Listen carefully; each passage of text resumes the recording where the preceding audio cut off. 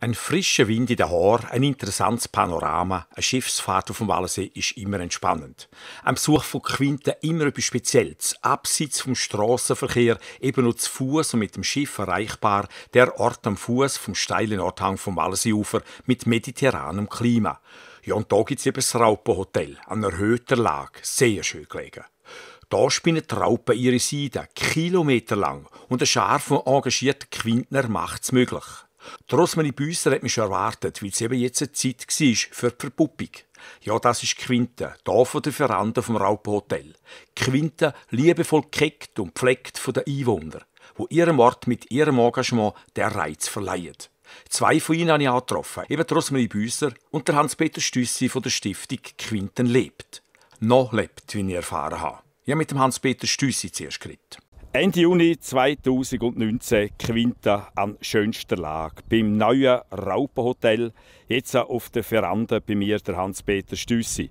Ja, in dem Raupenhotel in der schönsten Lage, das erreicht man übrigens vom Stegen weg in fünf bis maximum zehn Minuten. An dem Raupenteil an schönster Lage, da kann man eben natürlich die Raupenzucht anschauen, sich informieren lassen, eine Führung machen, aber eben auch geniessen. Quinte hat ja einen Haufen Plätze zum Geniessen. Und da muss ich jetzt ganz ehrlich sagen, aus meiner sehr laienhaften Sicht von Quinte, das Raupenhotel in dieser Superlage ist wirklich etwas ganz Spezielles. Hans-Peter Stüssi, Du bist eigentlich Architekt, wahrscheinlich jetzt äh, im Unruhezustand eines Pensionisten. Du bist seit 35 Jahren hier in Quinte. Du hast mir gerade vorher gesagt, du hättest mal einen Herberg gegeben und die Raupenzucht sei eigentlich nichts Neues. Das ist einfach ein Revival. Was kannst du mir da dazu erzählen? Das ist richtig. Äh, viele Leute meinen, äh, dass die Idee Raupenzucht ich hatte. Wahr ist aber, dass ich die nur einem Bär gestohlen habe. Also der Bär hat ein Büchlein herausgegeben, das war äh, glaube in den 50er Jahren, äh, wo daraus hervorgeht, dass äh, um die Jahre 1870 herum, in Quinten schon mal eine Blütezeit gegeben hat, wo Seidenraupen gezüchtet worden sind und vor allem wo Seiden auch gewoben worden sind. Und er beschreibt eindrücklich über natürlich über das harte Leben zu dieser Zeit aber dass auch fast in jedem Quintner Haushalt ein Seidenwebstuhl gestanden ist. Äh, das ist äh, so gewesen, dass die Industriellen von der anderen Seeseite haben diesen Leuten die Webstühle beschafft, finanziert und die mussten das müssen in Heimarbeit abarbeiten.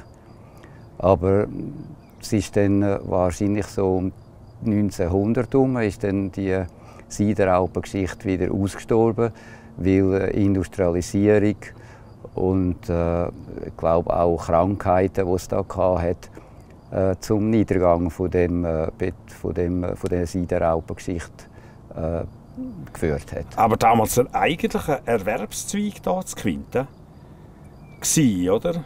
Äh, ich würde sagen, das war Heimarbeit. Ja. Aber ich denke, gelebt haben die Leute zu dieser Zeit von einfach ein bisschen Viehzucht, ganz äh, äh Viehzucht, Geissen, äh, Fischerei. Aber es war sehr ein hartes Brot, das ist klar. Es hat ja da eigentlich nichts anderes als Bäume, Stein und Wasser. Und dann hat die Stiftung Quinten lebt das wiederbelebt. Also, wie bist du auf die Idee gekommen eigentlich? Hat es so Initialzündung gegeben? Also, braucht ja Mut. Also, meine, von der Idee bis zur Umsetzung ist ja einiges, oder?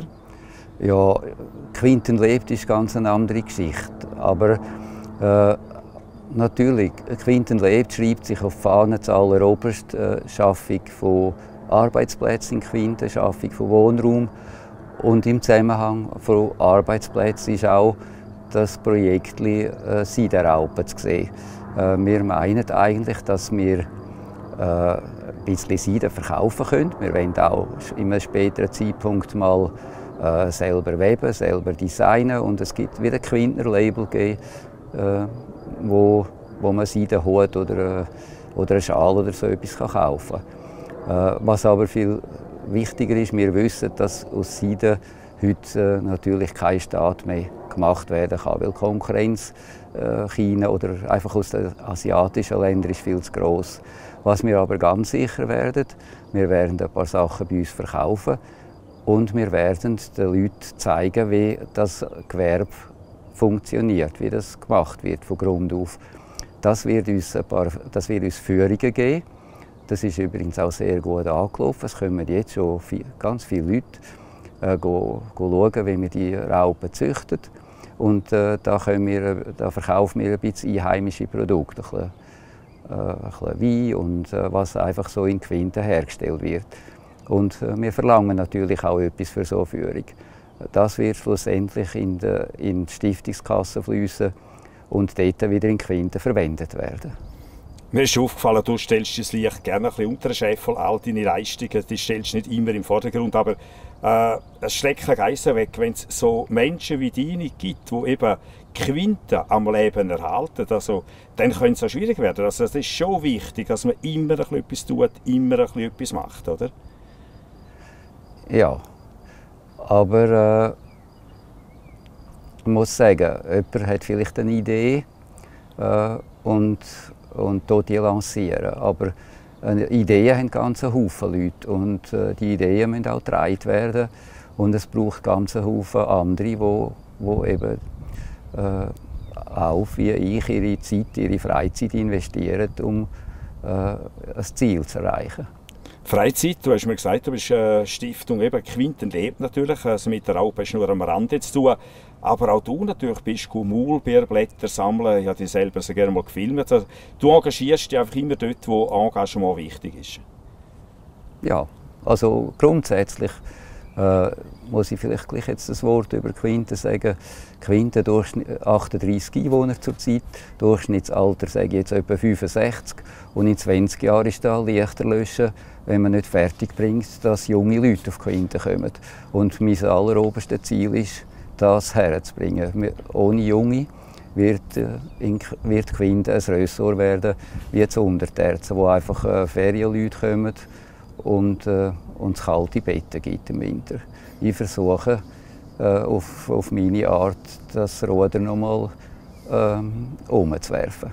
Was schwierig ist, aber wir sind dran auf eine engagierte, sehr kompetente Art, wie ich jetzt am Rande wahrgenommen habe. Und auch dazu gehört natürlich eben auch die Möglichkeit eben von Swisscom nach wie vor noch etwas, oder?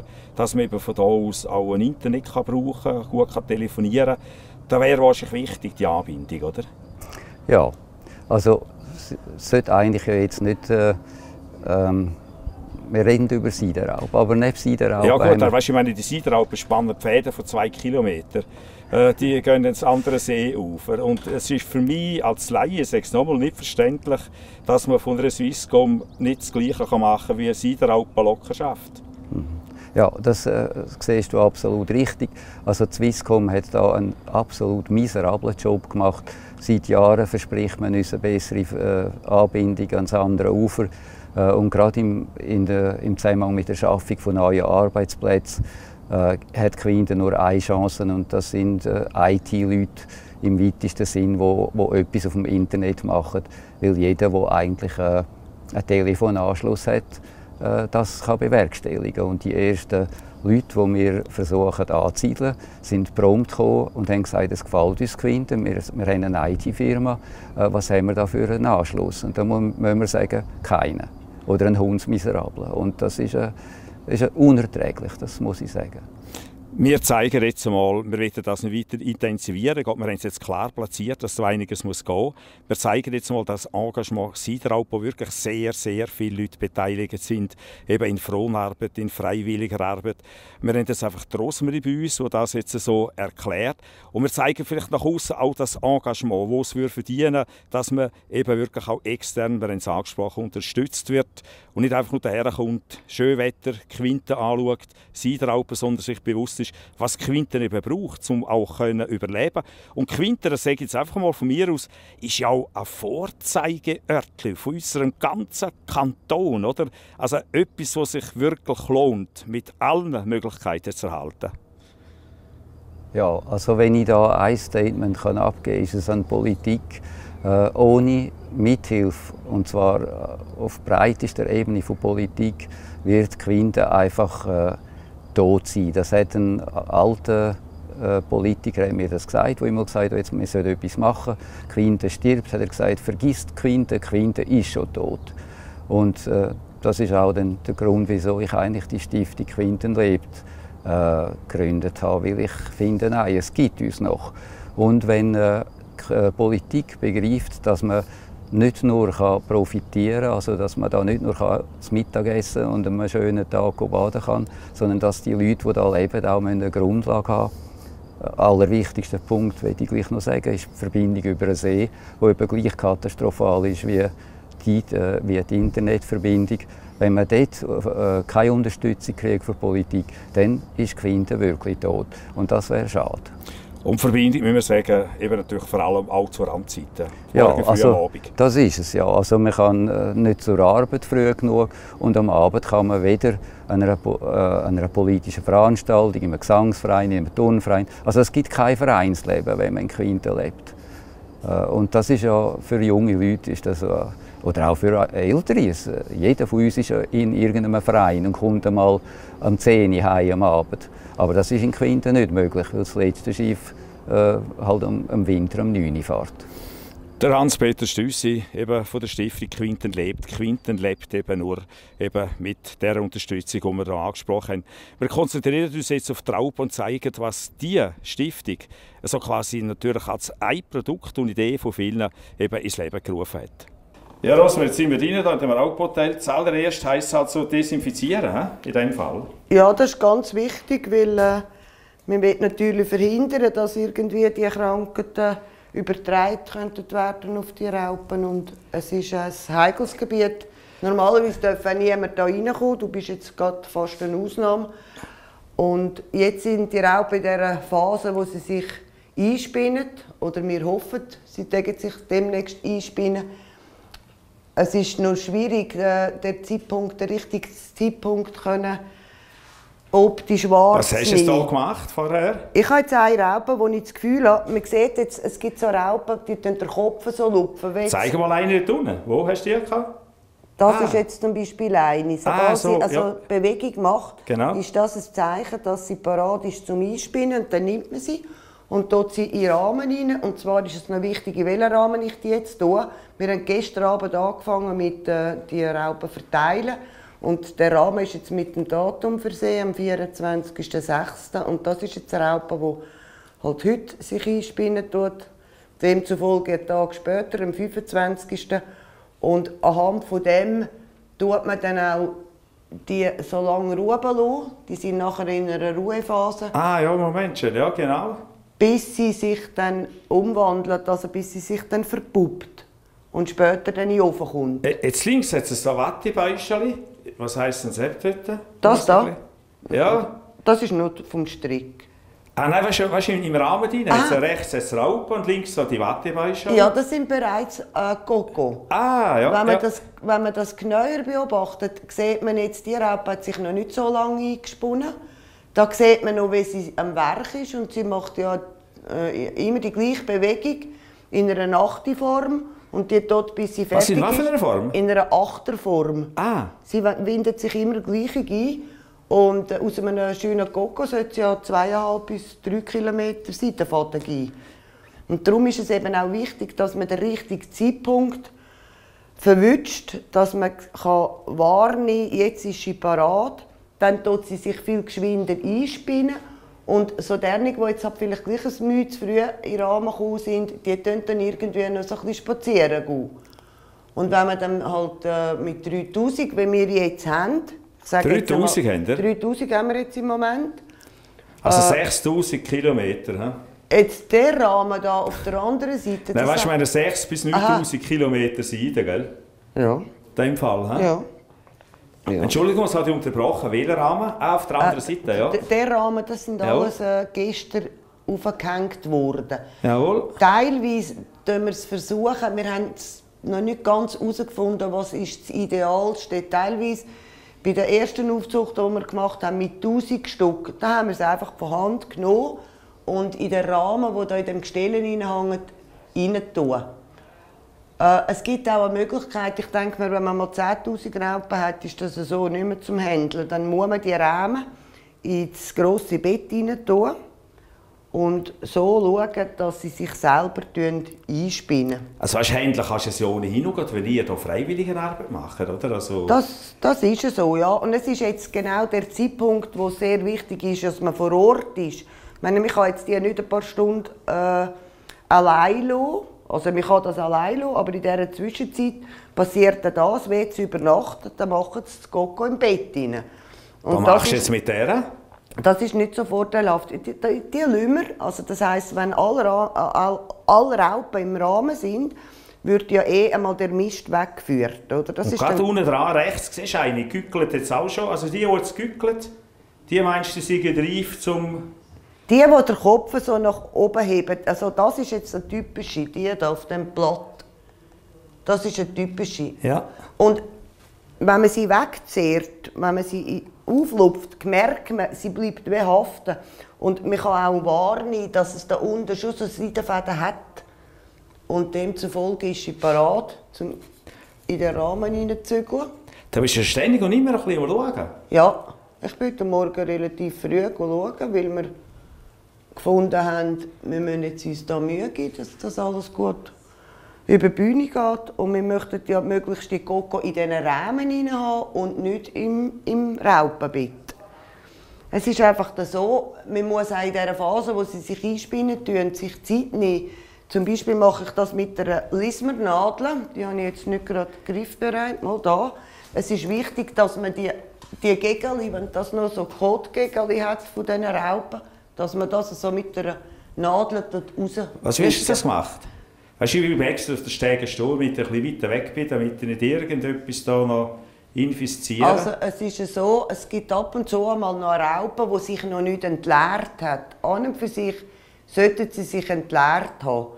Und dann ist es wichtig, dass man die, die Gegel rausnimmt und dass man nicht irgendwie das interessante Bauwerk stört, tut man das mit einer Nadel und dann kann man da einfach da so rein und dann geht, geht rauszwicken. Was sieht man da jetzt? Also die Raupe macht das erste Mal, wenn sie mal parat ist, um sich einspinnen, dort sie mit so Fäden, wo sie zum Maul auslässt. Also es ist eine Flüssigkeit, wo der äh, Luft nachher sofort hart wird. Also wenn man das angreift, ist das härter als jetzt ein Spinnennetz so. Dann macht sie mal zu, damit sie nicht runterfällt. Und nachher fängt sie sich an einspinnen. Man sieht es bei deren jetzt noch ganz gut.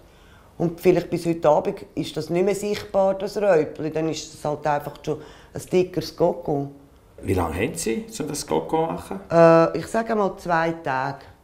Innerhalb von zwei Tagen sind alle Coco. Also alle Räupli nicht mehr sichtbar, sind überall Coco draus. Jawohl, wenn du das, äh, oben dran schaust, gell, die links sieht man ein bisschen und das rechts ist jetzt schon ganz fest eingesponnen. Ganz genau. In der zweiten Reihe, ja, ja genau. genau. Hey, Naturwunder. Und jedes von diesen Coco, also zwei bis drei, hast du gesagt, gell, Kilometer? Genau. Und woher kommt denn das nachher? Wie geht es nachher weiter? Also, wir tun sie hier zu Quinten noch trocknen. Äh, das ist auch vorgegeben, wenn man das handhaben muss. Und nachher schicken wir in einer Schachtel die Coco an Swissilk. Und Swissilk macht dann die weitere Verarbeitung. Also ein Teil davon ist bei Swissilk selber. Und ein Teil gehen sie einfach auswärts an Partner. Zum Beispiel ist noch interessant, im Glarnerland wird die Roside nachher bedruckt. Und das wäre unser Nachbarskanton. Die haben auch noch ein bisschen etwas zu tun mit unseren, mit unseren Römpeln. Und was wir vergessen die Blätter können nicht automatisch ins Bett rein, sondern natürlich die müssen... Ja, das, die Blätter tut man immer frisch ab dem Baum holen und nachher zwischenlagern in einem Keller. Wir sind in einer guten Situation dann in dem alten Haus, einen Keller, einen gewölbten Naturkeller und dort können wir jetzt am Morgen Blätter holen und können, haben dann genug Nahrung bis am Abend. Und dann geht man am anderen Morgen wieder frische Blätter holen und streut die wieder ein. Woher hast du das alles gelernt? Ja, gelernt. Also für mich war das alles Neuland vor drei Jahren. In der äh, ersten Aufzucht, die die Stiftung gemacht hat, also ein Pröbening, so eine Versuchsphase, glaube mit 500 Raupen oder vielleicht mit 1000, bin ich einmal schauen und als ich raus bin aus dem Raum, habe ich gesagt, spannend, aber das ist nicht mein Ding. Warum? Und ja, weil ich einfach denke, das braucht so viel Geduld und man muss, äh, klar habe ich von der ganzen Materie nicht viel gewusst und ich habe mir das eigentlich dann in dem Aufzuchtbuch, wo Swiss Silk rausgibt, wo eigentlich jede Bauernfamilie hat äh, als Stütze. Man kann immer dort nachschauen, wenn man irgendwie äh, bei dem Fahrplan, wo die Raupe hat, äh, eine Frage auftaucht, würden sehr viele Fragen würden dort beantwortet und sehr gut beschrieben. Und anhand von dem Buch habe ich mir vieles erlernt und wir haben ja jetzt das erste Mal eine 3000er Aufzucht. Vorne sind das Aufzuchten von 500 und von 1000 und das habe ich jetzt bei dreimal mitgemacht. Und es ist eigentlich mehr so ein Labor. Wir haben eigentlich mehr so ein bisschen probiert und geschaut und auf was muss man ein Augenmerk richten und es ist ja über die ganze Aufzuchtphase sehr wichtig, dass die Luftfeuchtigkeit und die Temperatur immer stimmt. Jetzt haben wir gerade einen heißen Tag. Müssen wir langsam wieder zutun, den Tag, gell? Ja, das, wir haben jetzt einen klimatisierten Raum. Ja. Jetzt sind wir äh, mit dieser 3000er Aufzucht sind wir jetzt wirklich sehr gut eingerichtet und parat. Vorne haben wir das so hilfsmäßig mit so Öffeli gemacht und mit ja. Befeuchter und Entfeuchter. Aber jetzt haben wir eine, tolle Maschine, wo, das, wo wir das programmieren können und das dann ganz automatisch selber. Du gehst voll auf in dieser Arbeit, gell? Also Quinten lebt auch dank dir. Ja, das will ich jetzt so nicht sagen, aber ich denke mir, wenn äh, schon irgendetwas will in Bewegung gebracht werden da, finde ich es ist halt schon gut, wenn sich die Leute dafür interessieren und mithelfen. Also, es bin ja nicht nur ich, also es ist einfach momentan bin noch ich da, wo jetzt die Filmaufnahmen sind, weil die Kollegin Rosi Murru, die mich noch recht äh, stark unterstützt, die hat heute nicht können kommen, weil die haben jetzt halt das gute Wetter genutzt für die genau. viel Arbeit im Rebberg und sonst wäre sie jetzt auch dabei gewesen und äh, auch der Hampen und, und Iris, also es hat Haufen Leute, die mich unterstützen, ich bin nicht nur allein. Aber das ist für euch wichtig, gell? Also, dass Quinter eben weiterleben kann. Und euer Engagement, das sollte ja eben auch in wichtigen Punkten, wie wir schon angesprochen haben, mit Hans-Peter unterstützt werden. Das ist wirklich wichtig, oder? Ich finde schon auch. Und es geht ja nicht nur rein um die Siderraupenaufzucht. Es hat ja noch andere Sachen, die ich jetzt auch persönlich sehr gut finde. Und im Zusammenhang mit dieser Siderraupengeschichte äh, versuchen wir ja mal äh, bei den Führungen, die wir haben, und da sind wir erfreut, dass wir so viele äh, Führungen schon gebucht haben und bereits schon Führungen haben für das nächste Jahr. Und ich glaube, jetzt langsam wird äh, unsere Aufzucht ein bisschen publik gemacht, auch in den Medien und so. Und ich denke, für das nächste Jahr würden wir noch mehr Anmeldungen haben für Führungen. Und weil wir jetzt so gut eingerichtet sind, mit unserem Beizli, haben wir die Leute natürlich auch ein bisschen bewirten, sicher nur im kleinen Rahmen, aber ich meine, es hat so viele Leute, die profitieren von dieser Sache, wo man zuerst gar nicht daran denken Aber wenn ich eine Gruppe habe für eine Führung für 20 Personen und die nehmen vielleicht bei uns noch den Apero, was sehr toll ist, und gehen sich ja nachher ins Dorf verpflegen. Also dann zur Folge hat nachher auch das Restaurant wieder etwas. Und gleichzeitig äh, im weitesten Sinn der Rebauer, weil der kann ja den Wein liefern, nicht Beiz. Und, und so ist es eigentlich Kette, die zusammenhängt. Aber Quinter, das ist eindeutig, hat unglaublich viel zu bieten. Wenn man hier durchläuft, äh, eben von der Au, eben dann Richtung Schiffslände oder Seehaus, muss man vielleicht alles erwähnen, dann hat es wirklich unglaublich viel zu bieten. Hat auch kleine Läden mit Spezialitäten etc. und so weiter. Und um das eben können erhalten braucht es natürlich noch ein kleines bisschen mehr als nur den sonnigen Tag das mal geniessen. Wenn man es weiterhin will geniessen können, das, was alles hier überlebt und dank eurem Engagement belebt wird, dann braucht es wirklich eine grosse Unterstützung auch von extern, oder?